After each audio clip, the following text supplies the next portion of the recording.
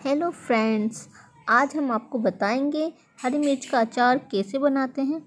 तो इसके लिए हमें चाहिए हरी मिर्च। तो यहाँ पर मैंने 500 ग्राम हरी मिर्च को धो करके सुखा लिया है और बीच में से इस तरह से मैंने इसमें कट लगा लिया है। अब हमें इसमें चाहिए कुछ मसाले। यहाँ पर जो हमने सौंफ ली है और यहाँ पर लिया है हमने ज़ीरा और साथ ही हमने लिया है मेथी दाना और कलौंजी।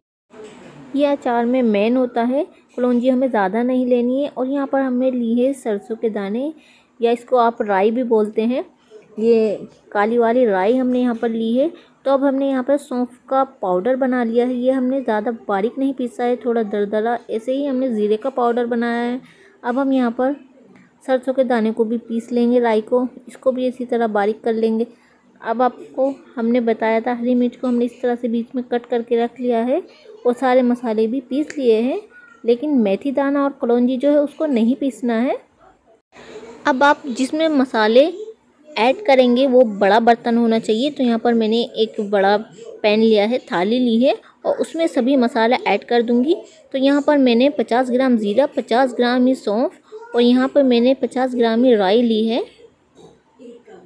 और अब हम डालेंगे कलौजी।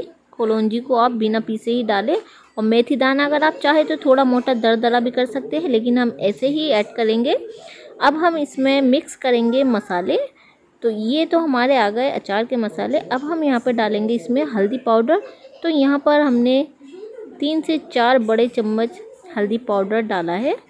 और इसमें अब हम ऐड करेंगे सॉल्ट नमक। नमक आपको स्वाद अनुसार रखना है। तो यहाँ पर हमने तीन चम्मच नमक ले लिया है और कुछ लेंगे हम यहाँ पर पिसा हुआ हींग।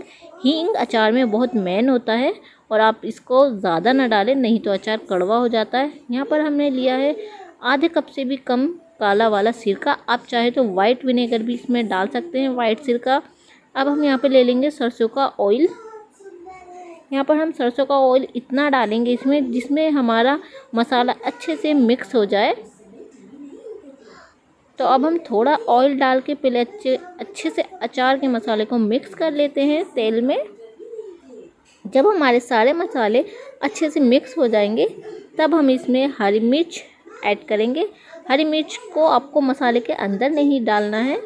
मसाला जो है आपको हरी मिर्च के अंदर भरना है, जहाँ पे हमने बीच में कट लगाया है। ये देखिए इस तरीके से। इस तरीके से आप अचार बनाएँगे तो बहुत ही टेस्टी बनेगा। तो फ्रेंड्स ये मेरी घर की रेसिपी है और हम घर पे हर साल इसी तरह से बनाते हैं। बहुत ही टेस्टी हमारा मिर्च का अचार बनता है, जो सबको पसंद भी आता है। तो इस तरह से हमने सभी मिर्च में अच्छे से मसाला भर लिया है। अब हम इसको एक डिब्बे में भर लेंगे। आप अचार बनाने के लिए कोई भी कांच का बाउल या कोई भी ऐसा प्लास्टिक का डिब्बा ले सकते हैं, जो एयर टाइट कंटेनर हो, उसमें भी आप अचार बना के रख सकते हैं और आपको इसको बहुत ही अच्छे से ना ठोक के भरना है। और ऊपर से हमने थोड़ा मसाला डाल दिया है, अब हम इसमें ऊपर से थोड़ा ऑयल और डाल देंगे ताकि जो हमारा अचार है वो अच्छे से पक जाए। इसको आप दो से तीन दिन धूप में रखेंगे तो आप इसको बाद में यूज़ कर सकते हैं। फ्रेंड्स मेरी ये मिर्च के अचार की रेसिपी आपको कैसी लगी, ज़रूर कमेंट बॉक्स में बताइएगा। अगर आपको अच्छी लगी हो तो प्लीज़ इसको ज़रूर ट्राई कीजिए, बहुत ही टेस्टी बनता है। अगर आप मेरे चैनल्स पर नए हैं तो चैनल्स को चैनल्स को सब्सक्राइब ज़रूर कीजिएगा और वीडियो को लाइक करना ना भूलें।